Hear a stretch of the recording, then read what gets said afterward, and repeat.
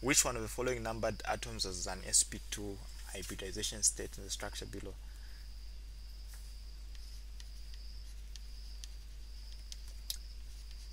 In my organic chemistry videos I've always given a shortcut on how to determine the state okay? So how do you determine the state? Just go at the carbon and count the number of connections. Count the first connection as s the next one as p p p and so on and so forth. This is the last one you can go for. Just try to focus on the ones that are numbered. Uh, if you look at the first one there so that's s and p. So it's sp hybridized. The same applies to this one. Now it gets it gets a bit funny because it requires you again to open up your eyes how this is a skeletal structure. So show the presence of hydrogens. Now the carbon on on one is connected to two carbons with single bonds so it implies there is need for it to have two hydrogens because it's a secondary carbon. The same applies to the next one. So you see that the connections end up becoming what?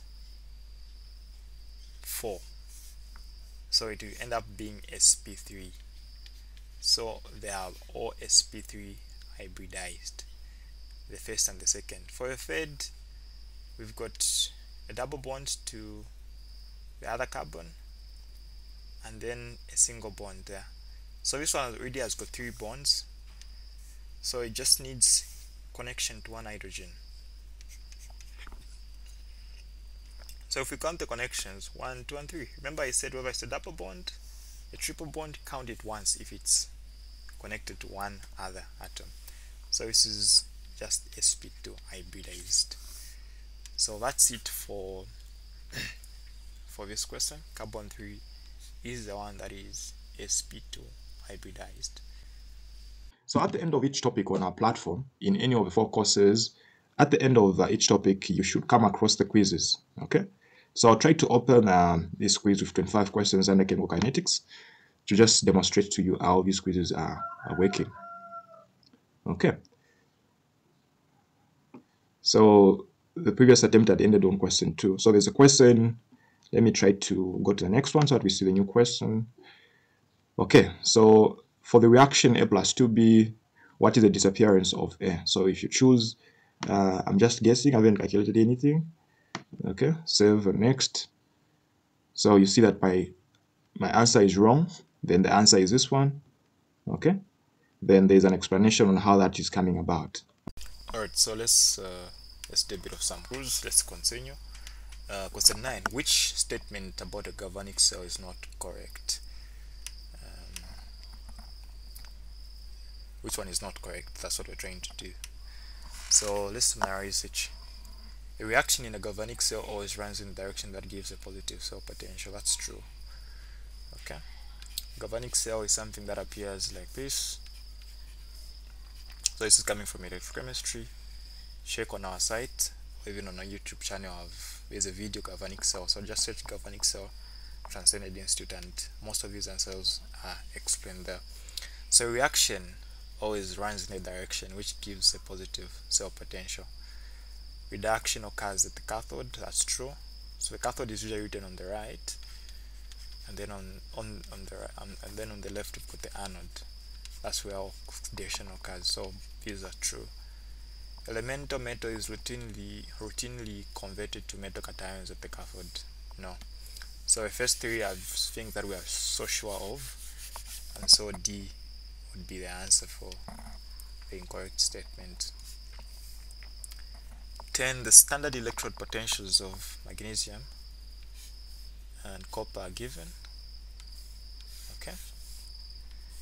Um, what is the standard cell potential? So this is something that is very simple. Based on this statement from the previous question,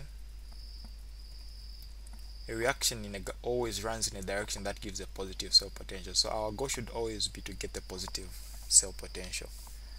So obviously in this case, we've got this value and that value. Okay, so those are the reduction potentials of magnesium and copper respectively. so this is something like this. Magnesium 2 plus. Um, plus 2 electrons is giving us magnesium solid and then negative 2.37 and then as well copper can be written in the same manner also 0.34 so these are all written in the reduction way. So we can reverse one. We can reverse this value okay? So that after addition to the other one we should get a positive answer. So whatever you reverse becomes the anode. So in this case we should reverse magnesium because we know that if we reverse it it's the one that will give us a positive answer. If we don't reverse it if we reverse the other one we'll still get a negative answer. We don't want that. So we should reverse for magnesium. Okay. Of course if you want to write so when you reverse you start with magnesium solid and then giving you magnesium 2 plus plus 2 electrons. This is an oxidation reaction because we're moving from an oxidation number of a 0 to a 2 plus. So even the value will change the sign become 2.37 volts. Now add that value plus 0.34 of the the cathode of copper. So that would be 7 plus 4 is 11 7 2.71 is our answer okay so that's how we handle question 10 question 11 At Transcended Study Hub, with over four years of working with students, our goal has always been to find ways to make studying easy for the students. So, so far on our platform, we have topics. All the topics in the four courses are already readily available. And uh, we also have the tutorial sheets or the worksheets, which are practice questions on each topic. Then we also have uh, the past papers, which are, are very good for people who want to see our questions come during an exam. Now, one of the best parts of our platform that helps learners, even as they learn or go through our content, uh, are quizzes. Okay, okay. So when you're done watching videos about each topic, um, this is a good start to assess your understanding far. And uh, of course, each time that you're stuck in any topic, it doesn't matter which university you're from, provided you're studying um, natural sciences in the first year, you may be a distance student, a full-time student, uh, all the topics are readily available for you. So you can always go back and revise at your own convenient time. And uh, this applies to the other courses as well. Okay, I thought I needed to mention that to you. And uh, this is a self-paced learning platform, implying that you can learn at any time of your convenience. Okay. so we've got the reaction that the electro is given as uh, R is equal to K and then H I2 so the part 2 so already just by looking at the electro you can tell that this is a second order reaction okay so now the question is what is the half-life? What is the half-life